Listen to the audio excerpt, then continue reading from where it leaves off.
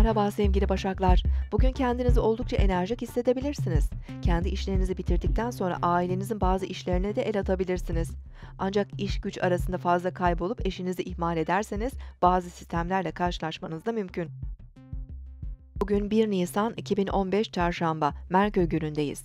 Başak Burcu'nda ilerleyen ay, iş, çalışma, hizmet, sağlık ve hijyen konularını ön plana çıkarabilir. Sabah saatlerinde ay, Yay Burcu'ndaki Satürn'e kare açı yapacak. Duygusal olarak karamsar ve çekingen hissedebiliriz. Günlük işlerimizle ilgilenirken bazı engel ve kısıtlamalarla karşılaşmamız da mümkün. Öğleden sonra Başak Burcu'ndaki Ay, Balık Burcu'ndaki Neptün'le karşıt açı yapacak. Duygusal karışıklıklar, dalgınlık ve unutkanlığa yol açabilir. Özellikle detay gerektiren çalışmalarda daha dikkatli olmalıyız. Sindirim ve sinir sistemimiz hassas olacağı için beslenmemize dikkat etmeliyiz.